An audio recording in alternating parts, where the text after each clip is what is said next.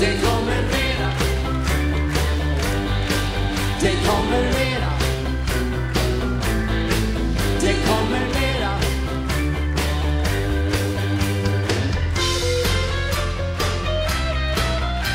Mina damer och herrar, kvällens värdpar Arne Hegerfors och Anders Lundin.